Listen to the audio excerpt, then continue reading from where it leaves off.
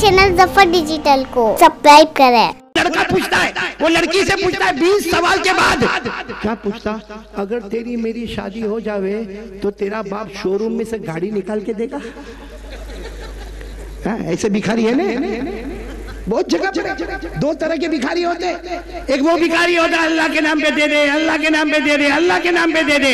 और एक पौष भिखारी होता, ये शादी करे, कबाड़ भी लेके आना, पलंग भी लेके आना, मोटर बाइक भी लेके आना, फर्नीचर भी लेके आना, गाड़ी भी लेके आना, और लाने के बाद भी फिर हज़ारों लानते। ये शरीयत में जायज़? तो मैं आपको कहा ना, कोई लड़का था उसने कितने सवाल पूछे लड़की को? हेलो अस्सलाम वालेकुम मेरा नाम है आयशा। आरिफ खान।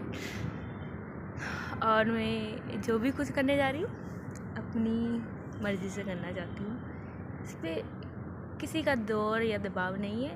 अब बस क्या कहें। ये समझ लीजिए खुदा की ज़िंदगी इतनी ही होती है और मुझे इतनी ही ज़िंदगी बहुत सुकून वाली मिली। और डियर डैड यार कब तक लड़ेंगे अपनों से? कैश विड्रॉल कर दो। नहीं करना। ये आयशा, लड़ाई के लिए नहीं बनी। प्यार करते हैं आरिफ से। उसे परेशान थोड़ी ना करेंगे। अगर उसे आज़ादी चाहिए। ठीक है, वो आज़ाद रहे। चलो। अपनी ज़िंदगी तो यहीं तक है। मैं खुश हूँ कि मैं वल्ला से मिलूँगी। उन्हें कहूँगी कि मेरे से गलती कहाँ रह गई? माँ बाप बहुत अच्छे मिले, दोस्त भी बहुत अच्छे मिले। बस शायद कहीं कमी रह गई मुझमें या शायद तकदीर में। मैं खुश हूँ। सुकून से जाना चाहती हूँ, अल्लाह से दुआ करती हूँ कि अब दोबारा इंसानों की शक्ल ना दिखाए। एक चीज़ ज़रूर सीख रही हूँ, मोहब्बत करनी है तो दो तरफा करो, एक तरफा में कुछ हासिल नहीं। चलो, कुछ मोहब्बत तो निकाह के बाद भी अधूरी रहती है। ये प्यारी सी नदी प्रे करते कि मुझे अपने आप में संभाल। और मेरे पीठ पीछे जो भी हो प्लीज़ ज़्यादा बखेड़ा मत करना। मैं हवाओं की तरह बस बहना चाहती हूँ और बहते रहना चाहती हूँ। इसी के लिए नहीं रुकना। मैं खुश हूँ आज के दिन कि मुझे जो सवाल के जवाब चाहिए थे, वो मिल गए। और मुझे जिसको जो बताना था सच्चाई, वो बता चुकी अभी कारी कमर साहब आप जहेज के ऊपर बहुत अच्छा आपने कहा। उस लानत को तो मेरे को फ़ौरन एक बात याद आई अब मेरे को नहीं मालूम कारी कमर आपको माशाल्लाह जवान है मैं तो बुढ़ा हो। गया मैं तो देखे देखे कह रहा था ये एक्सप्रेस गाड़ी या लोकल गाड़ी कब बैठेगी भाई? हाँ, लेकिन एक बात मेरे को समझ हम लोगों के जमाने में जब शादी होती थी ना मौना क्या नाम आपका? तैयब शायद आप मेरा साथ दोगे। हाँ क्योंकि हाँ, मेरी शादी की दास्तान सुनना है देखो कितने खुश हो? यहाँ जितने बड़े बूढ़े ना उनको मैं समझाना चाह रहा हूँ कि मेरी शादी हुई ना मौना कारी कमर साहब उस जमाने में लड़की को देखने नहीं देते आपका भी ऐसा ही हुआ? मेरा तो हुआ ऐसा ही। हाँ। सही में ही में मैं। घर पर आया मुझे बताया कि भाई शादी है। भाई किसकी लड़की के साथ? फला की लड़की के साथ। तो मैंने कहा अम्मा जरा देखना तो है ओ मेरी अम्मा जो गुस्से हुई मुझे कहने लगी तुम्हारी माँ ने गलत सोचा होगा। तुम्हारी माँ ने गलत देखा होगा। तुम्हारे अब्बा ने गलत फैसला किया होगा। इतने में अब्बा आए बड़े गुस्से में कहा क्या कौन देखने का बोलता? अरे सामान उठाओ करके बाहर निकलो। देखने नहीं दिया आपको भी नहीं दिया? मेरे को भी नहीं दिया। यहाँ बहुत सारे बड़े बूढ़े ऐसे बैठे होंगे।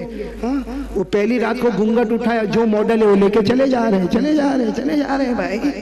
हाँ, लेकिन ये गलत है। बोलो ये। नहीं मैं इनके जैज के ऊपर एक बात सुनाना चाह रहा हूँ। बोलो, ये, अगर ऐसा कोई गाँव में करते हो तो उसको रोको। ये, भाई, चाहे मेरे माँ बाप ने किया हो कि किसी के माँ बाप ने किया, जो गलत है वो, शरीयत ने इजाज़त दी है कि जिससे शादी करना हो, उसको देख सकते हैं। भाई, हर लड़के को इजाज़त है कि जिससे शादी करना हो, उसको, बोलो बोलो बोलो बोलो बोलो। नहीं नहीं, आप तो घबराते भाई यहाँ बहुत बड़े मुफ्तियों के बीच में बोल रहा हूँ। बड़ी बड़ी हदीस की किताबों में लिखा, बाबुन नज़र मखतूबा हदीस पाक में लिखा, अगर कोई लड़का सही नीयत से शादी करना चाहता हो तो लड़की को जाए और देखने का, मोबाइल नंबर लेके नहीं आने का, चैटिंग नहीं करने का, फ़ोटो लेके सिर्फ़ क्या करना?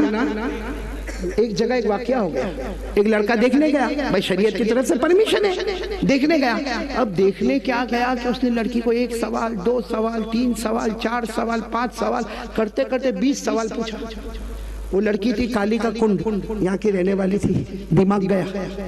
बोलो, दिमाग? वो सोचने लगी, देखने आया कि एग्ज़ाम लेने आया। भाई, इम्तिहान लेने आया।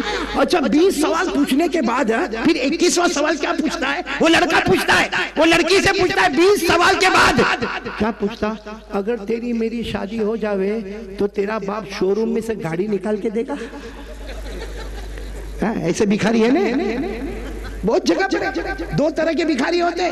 एक वो भिखारी होता, अल्लाह के नाम पे दे दे, अल्लाह के नाम पे दे दे, अल्लाह के नाम पे दे दे। और एक पौष भिखारी होता, ये शादी करे, कबाड़ भी लेके आना, पलंग भी लेके आना, मोटर बाइक भी लेके आना, फर्नीचर भी लेके आना, गाड़ी भी लेके आना, और लाने के बाद भी फिर हज़ारों लानते।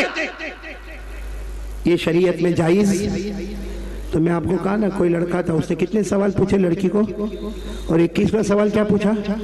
कि अगर शादी हो जाए तो तेरा बाप शोरूम से मेरे को गाड़ी वाड़ी कार वार निकाल के देगा। अब लड़की यही की होगी काली का कुंड उसका दिमाग गया। उसने क्या क्या मालूम? अरे तू कार की बात करता। मेरे बाप में ताकत है तेरे को प्लेन देगा प्लेन भाई लड़की भी जाए ऐसी नहीं थी। कहा तू गाड़ी की बात करता है गाड़ी की?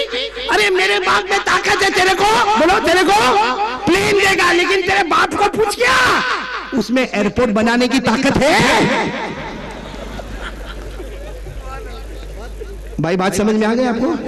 अब तो हंसो भाई, इतना हंसाया, अब तो हंसो भाई। अब तो मेरा साथ दोगे।